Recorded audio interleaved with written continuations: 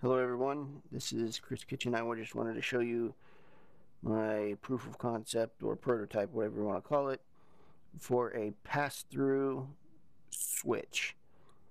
Basically with LittleBits right now you can't use auxiliary power supplies so there's no way you could use a laser. Um, so this is just kind of a proof of concept. Essentially all it is is a, a pass-through so that everything works, but you can also fire a laser if you wanted using a different power source.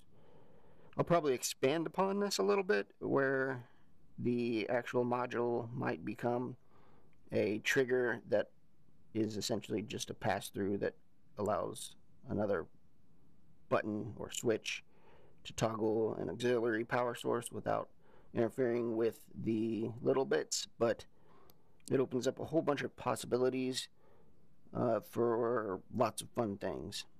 So the first module would just be the pass-through with the button with basically uh, two prongs where you can put little screws and attach um, two wires so that you can make a switch for say a laser um, also did not want to put the laser into LittleBits because people will go blind.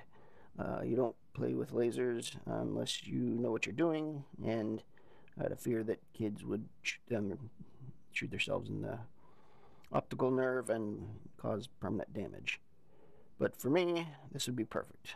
So this is my module, and even though I didn't use the kit because it's really not needed, and I'm cheap, this is a valuable little module. And thank you very much.